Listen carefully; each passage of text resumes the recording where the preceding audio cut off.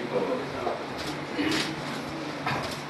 நன்றி யாரும் மறந்துடாம நன்றியை சொல்லுங்கிறது தான் இப்போ ஒரு பெரிய கான்சி சார் நிறைய பேர் லிங்கு அந்த தலைப்பு கொடுத்த கணன் சார் ஒரு இடம் ஒருத்தங்களுக்கு கிடைக்குதுன்னா முதல்ல வந்து அவங்ககிட்ட இருக்கிற அந்த நேர்மை தான் முக்கியம் நினைக்கிறேன். அப்படி வந்து கண்ணன் சாருக்கு வந்து ஒரு அனுபவத்தை கண்டிப்பாக இந்த இடத்துல எனக்கும் அவருக்கான ஏற்பட்ட ஒரு இன்சிடென்ட் சொல்லுவேன் ஆனந்தம் படம் வந்து டப்பிங் போயிட்டு இருக்கப்போ ஒரு படம் அந்த ஃபினிஷிங் ஸ்டேஜில் இருக்கப்போ அவங்களுக்கு தெரியல ஒரு படம் வந்து எது நடந்துட்டு அது முக்கியமான படமா அவர் ஃபேமிலி இன்சிடென்ட்ஸ் ஏதோ படமா எடுக்கிறாங்க கேள்விப்பட்ட அப்போ ஒரு ரிப்போர்ட்டாக இருக்கு. அப்போது கிளம்பி என்கிட்ட வந்து இதை பேட்டி எடுக்கணும்னு சொல்லி வராங்க. என் கூட இருந்த ஒரு உதவி இயக்குனர் பத்திரிகையில் இருந்தவர் அவர் பழக்க தோசை என்ன சொல்லிட்டாருன்னா பத்திரிகை வந்து வந்தாங்கன்னா அவர் சொன்னது. நிறைய அப்புறம் பேசிக்கலாம். முதல்ல வந்து ஒரு கவரில் ஒரு அமௌண்ட் போட்டு யாருக்கு தெரியாமல் டப்புன்னு கொடுத்து அது ஒரு பழக்கம். நியாயமாக செய்கிற விஷயம். ஆனால் தெரியாமல் நீங்கள் கொடுங்கன்னு ஒரு கவர் கொடுத்து கொடுக்க சொல்கிறார் கொடுக்க போகிறது யாருன்னா போஸ்து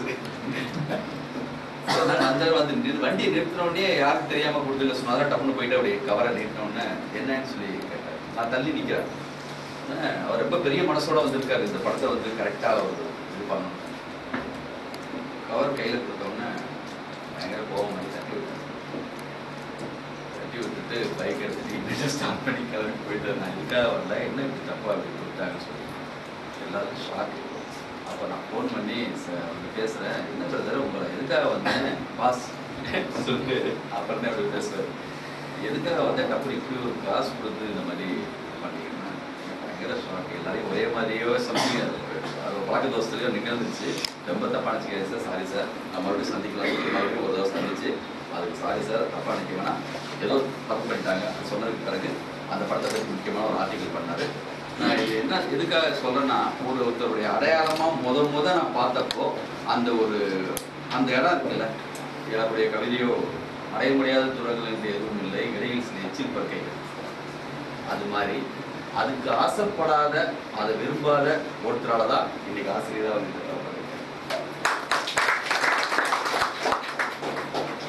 மிஸ்திரி போடும் தொழிலாளி வயிற்றில் சுருக்கம். இதுதான் எழுதின முதல் கைப்பு அது வந்து காலேஜுடைய பேக் சைடில் நானும் என்னுடைய நண்பரும் வந்தாங்க அதான்.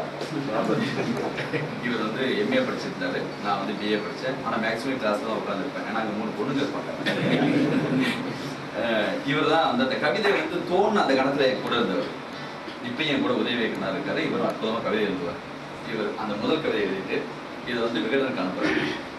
முதல் முதல்ல விகடன்ல என்னுடைய கவிதை பிரசுரமாகி மூணு வரி பிரசுரமாச்சு அதுக்கு முப்பது ரூபா காசு பண்ணாங்க அந்த புக்கு வந்து எனக்கு அவ்வளோ பெரிய எனர்ஜி கொடுத்துச்சு. ஒரு உதவி இயக்குனரா சினிமாவுக்கு போய் அசிலியேட்டை ஜாயின் பண்ணி அப்படி சினிமாவில் வந்துடும் எந்த கண்ணுக்கு கெட்டினது வரைக்கும் யாருமே நமக்கு தெரிஞ்சவங்க கிடையாது. ஆனால் அந்த விகடனில் வந்தோடனே என்ன ஒரு பெரிய தெம்பு. எழுதி பொழச்சிக்கலாம் போயிட்டு எங்கள் அம்மா வந்து எப்படா எப்படா பண்ணுவனி நீ? எப்படா போய் அங்கே இருப்பா சரி கேட்டா இல்லைம்மா நான் கவிதையெல்லாம் எழுதி காசு வரும். அது மூலமா நான் ரூம் ரெண்ட் எல்லாமே எடுத்துப்பேன். எவ்வளோ பெரிய நம்பிக்கை நம்மளுக்கு அந்த மூணு வரி கவிதை கொடுத்த பெரிய நம்பிக்கையில தான் கிளம்பி நான் ஊர்ல இருந்தே கிளம்பி வந்தேன். அதுக்கப்புறம் தொடர்ந்து ஒரு மூணு வாரம் தொடர்ந்து என்னோட கவிதைகள் வந்துச்சு. இந்த சு- இருக்க பெரிய பெரிய கவிதையெல்லாம் தேடி வந்துட்டாங்க. எதுக்கு அனுப்புவீங்க லெட்டரா அஞ்சாண்டாரா சார் இது மாதிரி இல்லை. அப்படி போவீங்க அப்படியெல்லாம் நிறைய கேள்வி. இல்லை சார் இந்த மாதிரி அனுப்புவேன் சொல்லிடுவாங்க அதுக்கப்புறம் சென்னைக்கு வந்து அந்த கவிதையை வச்சு தான் நான் அசிலேட்டராக ஜாயின் பண்ணேன். எனக்கு வந்து விகடன் பதிப்பகத்தில் புக்கு ரிலீஸ் ஆகுது. சரவணன் அவர் தான் என்னை வந்து பார்த்துட்டு. என்னுடைய முதல் கவிதை பிரசுரமான புஸ்தகம் என்னோட கவிதை பிரசு எனக்காக ஒரு புக்கு இன்னைக்கு வந்து போறாங்கன்னு சொல்றது இல்லையா? இதுதான் என் லைஃப்ல ஒரு மிகப்பெரிய மிகப்பெரிய நன்றி தெரிவிச்சுக்கிறேன். அதுக்கப்புறம் அறிவுமதி என்ன? இந்த கவிதை எழுதுறதுக்கு வந்து என்னன்னா புஸ்கின் இலக்கிய பேரெல்லாம் கவிதை போட்டி நடத்துவாங்க. அப்ப எப்படி எல்லாம் கவிதை எழுதி அனுப்பணும்னு சொல்லி முத முத கவிதை எழுதுறதுக்கு தூண்டுதலே என்னன்னா மிக முக்கியமான கவிஞர்கள் இருக்காங்க. அதில் பெரிய ஆதாரம் வந்து அண்ணன் தான் பருத்தி கட்டில் காவல் பொம்மைக்கு கந்தல் சட்டை. இந்த கவிதை படிச்சோன்னா அப்படியே வந்து பெரிய புல்லரிப்பு. எழுதுன அவரை பார்க்கணுங்கிற ஒரு இது. சென்னைக்கு வந்தப்போ வந்து அவரை பார்க்கறதுக்கு முன்னாடியே என்னோட கவிதைகள் நிறைய எனக்கு எல்லாம் அறிமுகம். யாருக்கு யார் சொந்தம்? பனைமரத்து இடிப்பில் ஆலமரம். அந்த கவிதையெல்லாம் கேட்டு அப்படியே அவரை அவரை பார்த்தது இல்லை ஆனால் அவருக்கு ஒரு உருவம் ஒரு மனசு. அப்படியே வந்து பார்த்தா ஒரு அன்பான ஒரு தோற்றம். உண்மையிலேயே நல்ல மூணு வரி எழுதுனா அந்த மனிதர்கள் வந்து எனக்கு என்ன எப்படி தெரிவாங்கன்னா அவங்களுக்கு சார் பண்ற ரைட்டிங் மாதிரி அப்படியே ஒரு ஓவியம் மாதிரி ஒரு கனவு மனிதர்கள் மாதிரி அவங்கள எனக்கு எதுவுமே தேவையில்லை. அந்த மூணு வரி எழுதுனவங்க எங்க ஆபீஸ்க்கு வந்து என்னை தேடி இவங்க தான் இந்த மூணு வரி எழுதணும்னு சொன்னா நான் எவ்வளவு பெரிய வேலையா இருந்தாலும் விட்டு அவங்கள பேசுவேன். அவங்களுடைய அடையாளமா நான் அது வந்து ஒரு அது புகழேந்தின்னு ஒரு புகைமா புகழேந்தி அவருடைய கவிதையை நான் சொல்லியிருப்பேன். அப்படியே பார்த்தா அது ஒண்ணு படைச்சிட்டு முடிச்சுக்கலாம் நம்ம லைஃபையே பழம் மெலிங்கிய பறவை பறக்கிறது ஒரு மரத்தை சுமந்து கொண்டு என்ன அற்புதம். இது போதும். ஒரு படம் ஒரு முழுசா அது ஒரு பருத்தி வீரருக்கு சமமா நான் நினைக்கிறேன். நிஜமா.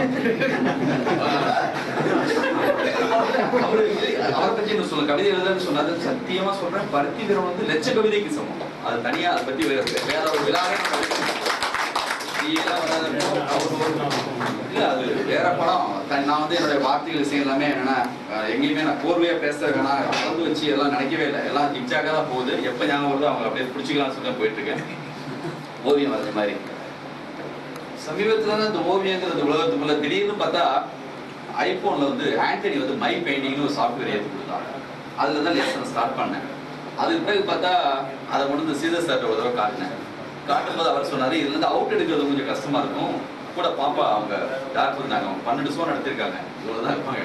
அவங்க சொன்னாங்க பேப்பர்னு ஒரு சாஃப்ட்வேர் இருக்கு அதுல வரைய ஆரம்பிங்கன்னு சொன்னோன்னா அதுல வரைய ஆரம்பிச்சேன். அப்புறம் இதுல இருந்து எடுக்கிற அவுட்டை விட சிண்டெக்னு இது வரைக்கும் அந்த பேர் ஞாபகம் ஒரு முறை அதுல நீங்க வரைஞ்சீங்கன்னா நல்லா வரும். டெய்லி ஒரு பத்து மணிக்கு எல்லா வேலையும் முடிச்சுட்டு வருவேன். வந்துட்டு ஓவியம் வரைகிறது. அண்ணன் கூட இருப்பாங்க. ஒவ்வொரு ஓவியத்துக்கும் ஒரு பத்து நிமிஷம். எந்த அர்த்தமும் தெரியாது. எனக்கு தெரியும் ஓவியம்னா எப்படி நீங்க இந்த கலர் யூஸ் பண்ணீங்க எல்லாம் அதை கேட்கும் போதுல எதோட கையை கட்டி நின்னு எனக்கே வந்து என்னன்னா பயங்கர சிரிப்பு.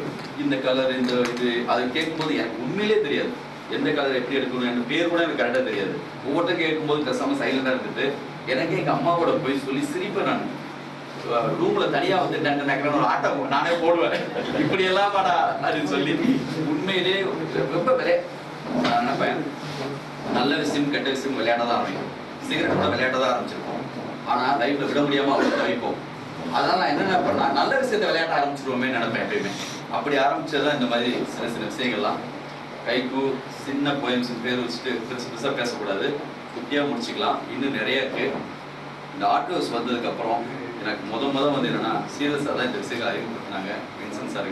இவங்க எல்லாருக்குமே வந்து இந்த புக் இவ்வளவு ஃபினிஷிங்காக வர்றதுக்கு காரணம் என்னன்னா அவங்க ரெண்டு பேரும். அவங்களாம் தான். இவங்க தான் வந்து பிரகதின்னு சொல்லி ஒரு அவங்க தான் வந்து இதை அடிச்சுட்டாங்க. அவர் வந்து ஹைதராபாத்ல இருக்க அந்த நிறுவனம் அவங்க வந்து கும்கி இன்விடேஷனுக்காக கோல்டன் அவார்ட் வாங்கினாரு மேல வந்து தொட்டு பார்த்தா யானை மாதிரியே இருக்கும். அந்த மாதிரி ஒரு இன்விடேஷன் வந்து கருப்புசாலம் டிசைன் பண்ணி கொடுத்து அவங்க பண்ணாங்க. மிக அற்புதமாக அவங்க வந்து வடிவமைச்சு கொடுத்து அவங்களுக்கு நான் நன்றி சொல்லிக்கிறேன். அந்த க்ரூ அதில் வந்து அவங்க என்னுடைய முக்கியமான இன்டர்வியூ வெளியிட்டிருக்கு. அவங்களுக்காகவும் சரி. இன்னும் இந்த அவர் மதராஜ் பட்டினம் வசந்த் சார். வசந்த் சார் அற்புதமாக கவிதை எழுதுவார். சிக்னலில் காத்திருக்கிறது பிணம். கரெக்டா சார் கரெக்டா சொல்றேன். அவருடைய கவிதை. அப்பப்போ கவிதையை பத்தி நிறைய இந்த மாதிரி வெங்கட்ராம் சொன்ன மாதிரி என்னோட உலகமே அண்ணன் சொன்னாங்க. கவிதை எழுத விட்டு சூர்யா படத்தை காசு என்ன பண்ணணும்னு சொன்னாங்க. நான் உண்மையிலே ஓப்பனாக ஒரு விஷயம் சொல்றேன்.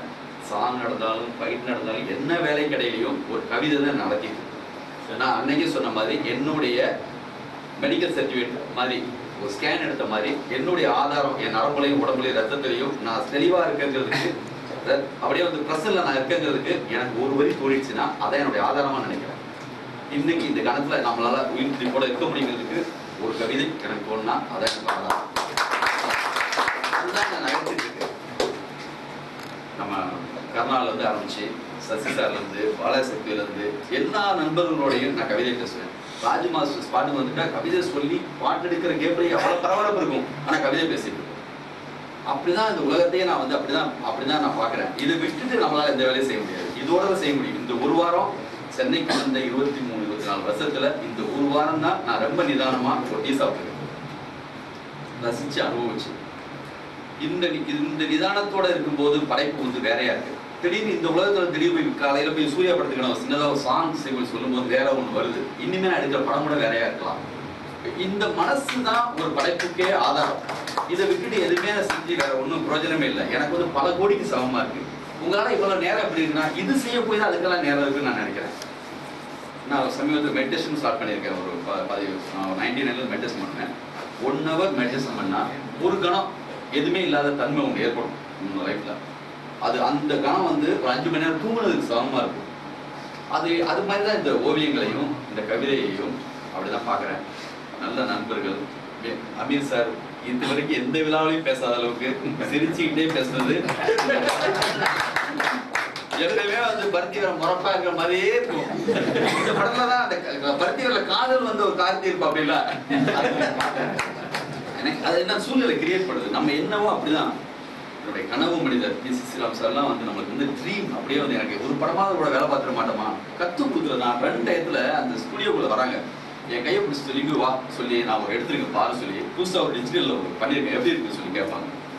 எப்போ நான் எப்படி இத்தனை பேர் அவர்கிட்ட வந்து வர முடியுமான்னா வாத்தியார்கள் மாதிரி அவங்க அந்த குருமார்கள் சொல்லுவாங்க. அதுக்கான தன்மை இருக்கிறதுனால தான். வந்தது. ரொம்ப சந்தோஷம். நான் யாரையாவது விட்டுருந்தா சாரி எனக்கு வந்து ரொம்ப தொடர்புபடுத்தியெல்லாம் நான் வந்து கௌதம் மேனன். வந்துட்டு இதில் உள்ள போயம்ஸ் எல்லாத்தையுமே எனக்காக இங்கிலீஷில் வந்து மொழிபெயர்த்து நான் இங்கிலீஷ் வர்றதுக்கு மலையாளத்தில் வர்றதுக்கும் நான் பண்ணித்தரேன் brother. எனக்கு ரொம்ப நல்லா இருக்குன்னு சொல்லி சொன்னார். அதுதான் சார். இன்னும் சொல்லி வளரும் கலைஞர் உண்மை சார் எட்டு வருஷம் மீமா சொல்றாங்க. திடீர்னு பார்த்தா பத்து வருஷத்துக்கு முன்னாடி வரலாறு பேசுற மாதிரி இருக்கு. எனக்கே பயமா இருக்கு. நம்மள சூதுக டீம் சார் வளரும் கலைஞர் ஆமா. ஆமா. அடுத்து அடுத்து அடுத்து வந்துட்டே இருக்காங்க. ஜென்ரேஷன் மாறிட்டே இருக்கு. இப்ப நம்மள ஏதோ அப்டேட் ஆயிட்டோங்கிறதுக்கான ஒரு ஒரு அர்ஜ் இருக்கு. கொஞ்சம் செய்யாம இருக்கலாம் வேலை செய்யாம இருக்கலாம். தொடர்ந்து செஞ்சா பிரச்சனையா இருக்கு. இது எனக்கு பெரிய ஒரு மூடை கொடுத்துருக்கு. மிகப்பெரிய சந்தோஷத்தை கொடுத்துருக்கு. இதை ஏற்படுத்தி கொடுத்த ஆர்ட் ஹவுஸுக்கும் எல்லாருக்கும் விகடன் மீண்டும் வந்தவங்க நன்றி. வந்தவங்க எல்லாருக்குமே. ஒவ்வொருத்தங்களும் இங்கே உட்கார தகுதி உள்ளவங்க தான் உள்ளவங்க எல்லாருமே. நம்ம எல்லாம் ஒன்றா தான் நான் எல்லாரையும் பார்க்குறேன். ஆமாம் ரொம்ப நன்றி. நன்றி. அன்புமிகு அனைவருக்கும் எங்களது ஆற்றூர் சார்பாக ஆனந்தவிடன் சார்பாக ரூம் மேகசம் சார்பாக பஞ்சத்தின் ஆழத்திலிருந்து ஸ்ரீதர் சார் ரெண்டு வார்த்தைகள் பேசுவாங்க ஆமா.